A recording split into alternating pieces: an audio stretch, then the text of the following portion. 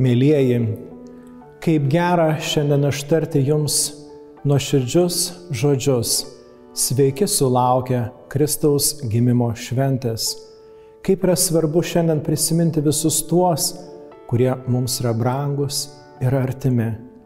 Galbūt ne visus galėsime sutikti asmeniškai ir gyvai, galbūt kai ką tik per atstumą, tačiau šventų kalėdų stebuklas nugali bet kokius barjerus.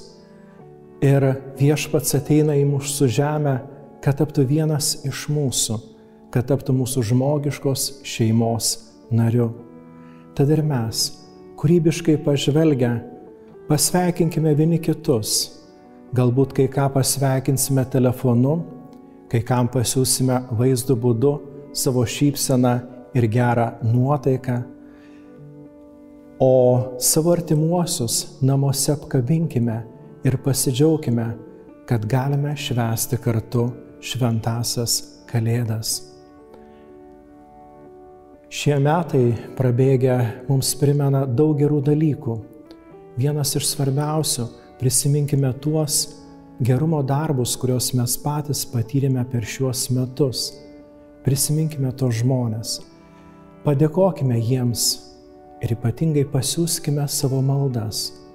Taip pat prisiminkime visus tuos, kurie išgyvena šiandien sunkumą, kurie išgyvena nepriteklius, vargą, ligas, apleistumą ir vienišumą. Taip pat ir jiems pasiūskime savo maldos sveikinimą. Tai būna ir jų namuose tas šviesos spindulys, kuris leidžia pajusti Kalėdų šventę. Ateinantis metai skirti Švento Juozapo garbiai. Jis šventosios šeimos globėjas, kuris sugebėjo atrasti sprendimą bet kokiose sunkiausiose situacijose. Pasiveskime jo globai, paveskime savo artimuosius ir ypatingai visus, kurie kovoja su šiandien mūsų ištikusią pandemiją, kad kuo greičiau galėtume nugalėti ją ir džiaugtis vėl kartu susitikdami vieni su kitais. Iš tiesų, šventos kalėdos yra tas džiaugsmo metas, tad sukurkime tą jaukumo stebuklą savo namuose, dalinkime savo gerumu. Ir tas gerumas yra geriausia dovana mūsų artimiesiems, geriau negu gražiai supakuoti daiktai, mūsų širdies šiluma užlieja ir apdovanoja tuos, kuriuos mes mylime.